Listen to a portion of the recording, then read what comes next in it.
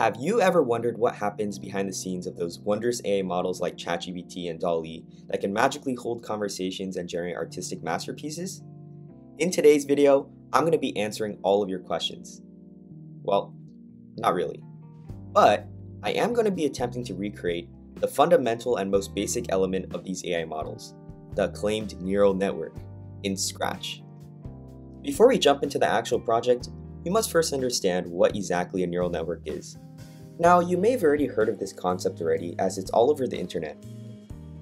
It's a collection of artificial neurons, commonly called activations, which are interconnected by weights, basically pathways between neurons that have a specific value assigned to them. This structure mimics our biological brain with activations standing for neurons and weights standing for the axons that link billions of neurons together inside our complex mind. This web of neurons and weights are what allows us to think, learn, imagine, function, and just be a human being in general.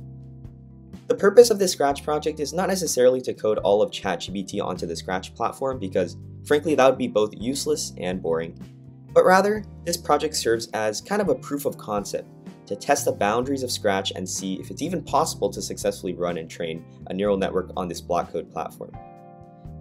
At the time of this recording, I myself don't even know what the outcome's to be, so I guess we'll just have to watch and see. For simplicity's sake, we'll be designing a neural network that can learn how to do basic bitwise operations, the math of the programming world, such as AND, OR, and XOR. And as for the video logistics, I'm planning to make this project a two-part series, with today's video being me creating the overall neural network structure and making it run, and the next video being the actual training portion of the project, the part of the network that actually allows it to learn and predict. Because making a neural network is no easy feat, portions of this video will be sped up and time-lapsed, so y'all don't have to watch me drag 100 blocks onto a white canvas for 40 minutes straight.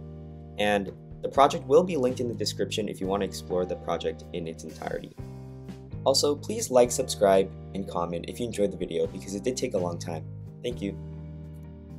So because this project is so long, instead of doing the usual walkthrough that I do, I'm instead going to be explaining the crucial steps that I took to making this project.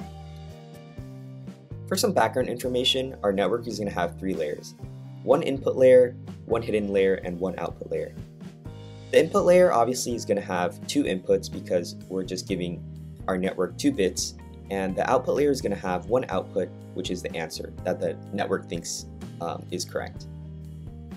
Here I'm just creating a block called make, network, which helps create the network. Uh, and you don't have to use a block, but uh, I think creating a function like this keeps the whole project organized so you know what exactly what you're doing and not have code uh, scrambled all over your workspace. And here you can see I'm making the network a 221, which means that I have two input uh, nodes, two hidden nodes, and one output node, or activations. And as for the clones, I'm just using that to display um, the nodes or neurons and the edges uh, or the weights. So you can just kind of visualize what's going on. So after making this network sprite, I switch over to making uh, the weights display. And to do that, um, if you didn't watch my pen video, I basically made um, a grappling hook with Scratch's pen feature, which allows you to draw lines with uh, sprites. And this fits our purpose very nicely because we want to draw pathways between our neurons. And here I'm just looping over each layer. So we have three layers um, and I'm connecting all of the nodes in one layer to all of the nodes in the next layer.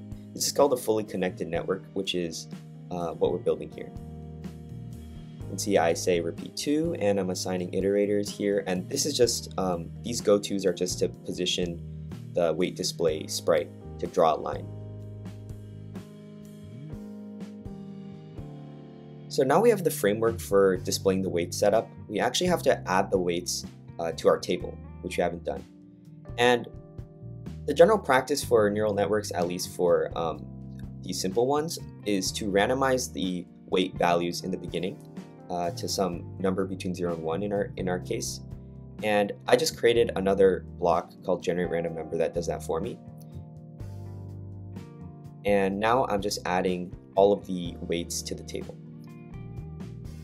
As you can see on the right side, we have four items in the input to hidden weights and two items in the hidden to output weights. Just to explain this a little bit, that's because since we're dealing with a fully connected network, Each activation in one layer is connected to every single activation in the next layer. Since we have two input activations uh, and two hidden activations, each of those input activations are connected to the two hidden activations in the next layer, and the other one's also connected to the two. So we have four total. And then the two hidden layers, or the two hidden activations, are connected to the one output activation uh, that we have at the end. That's why we have four weights uh, in between input and hidden, and two weights between hidden and output. Continuing on, uh, we have our weight set up now, but on the visualization, it's still kind of dull because everything is displayed blue. And since weights have uh, values associated with them, uh, it'd be cooler if we could display them on a sort of red-green spectrum to see if the weight value is closer to 0 or closer to 1. And that's precisely what I'm doing here. You can see here that I made uh, if k equals 1 block, and all that means is if we're in the input layer, uh, pull from the input to hidden weights table, and if we're in the hidden layer, pull from the hidden to output weights table.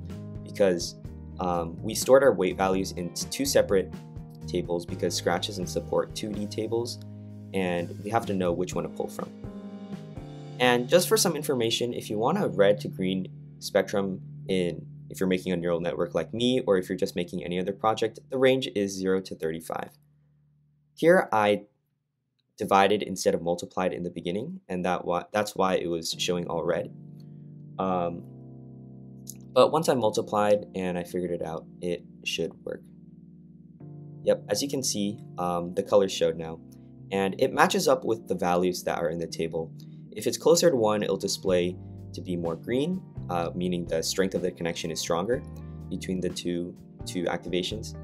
And if it's closer to red, that means it's closer to 0. So now I'm just creating another block to put the input into our neural network.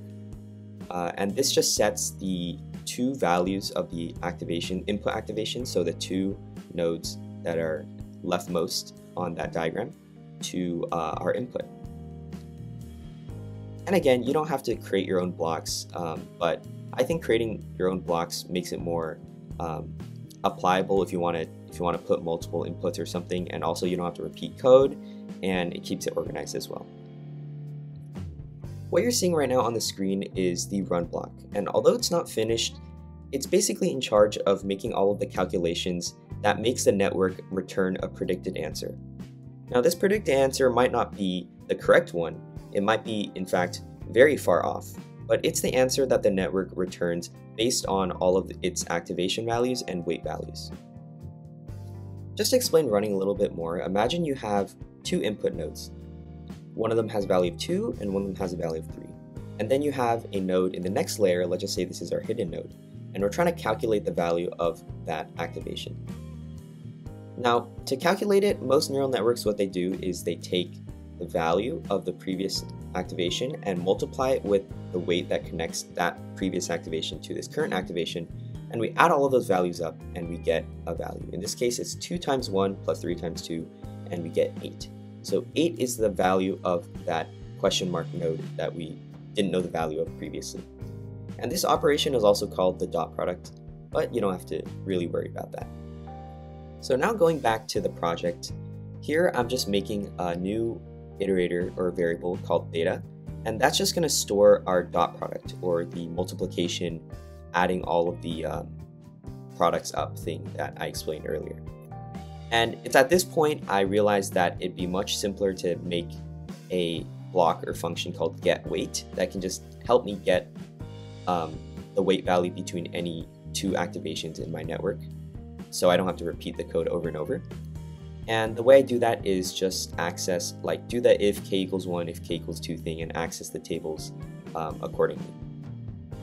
So now I have that uh, function written um, here I just uh, use that get weight to get the weight between every node and do that calculation of multiplying, you can see here, multiplying the value of the previous activation with the weight that connects it to the next one and assigning that with uh, assigning that activation to that value. So after this run function is done, we basically have a network that you can put input into it um, and call run, and it'll do all of these dot products that propagate all the way to the output node, which stores the value that the network returns, or what it predicts to be the right answer, although that's usually not the case. Now, in order to make our network get closer to the right answer or start predicting the right answer, we'll have to make a training algorithm or implement a training algorithm, which we'll be doing in the next video. And that basically minimizes the error between um, the predicted answer and the real correct answer to make the network eventually be able to predict answers with uh, decent accuracy.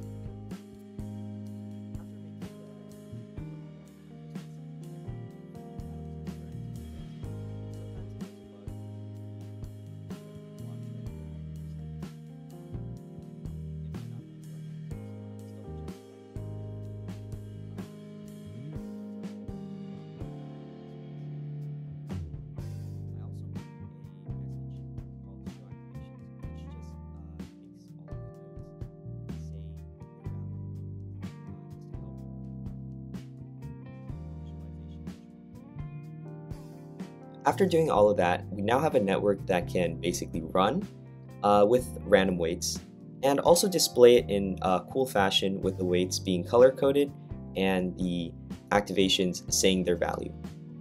As a final cherry on top, we're going to be implementing a sigmoid function as you can see on the screen. Um, and this is just going to wrap around all of our dot products. So if a node had a value of 2 in the past, uh, let's just say it was a hidden node, um, we would wrap it in this sigmoid function that would make it equal to 1 over 1 plus e to the negative 2. Although you might think this is such a weird thing to add or such a weird function, it actually helps our network greatly, not only by uh, restricting the value of our nodes to be between 0 and 1, but also it helps smoothen out the predictions and it'll greatly help our training as well. So after we go ahead and make a block for that and implement it into the into our project, it should make our nodes all be between 0 and 1 instead of like right now you can see one of them is 1.2. So here I'm just um, replacing all of the um, nodes values with sigmoid of the nodes value. And you can see here now everything is bounded between 0 and 1 and the sigmoid function is applied to our network. Alright, so that's going to be the end of this video, and in the next video we'll be making the training part of this network. Um, and thank you so much for watching. I know this video was slightly different from how I usually do it, uh, but I just wanted to showcase a little bit of the possibilities of Scratch and what you can do with it, and also since we're in the AI era right now, um, just show you guys a little piece of how everything works. And again, it'd be much appreciated if you could just like and subscribe. And if you have any questions or comments, feel free to leave one down below. Once again, thank you so much for watching, and I will see you next time. Bye!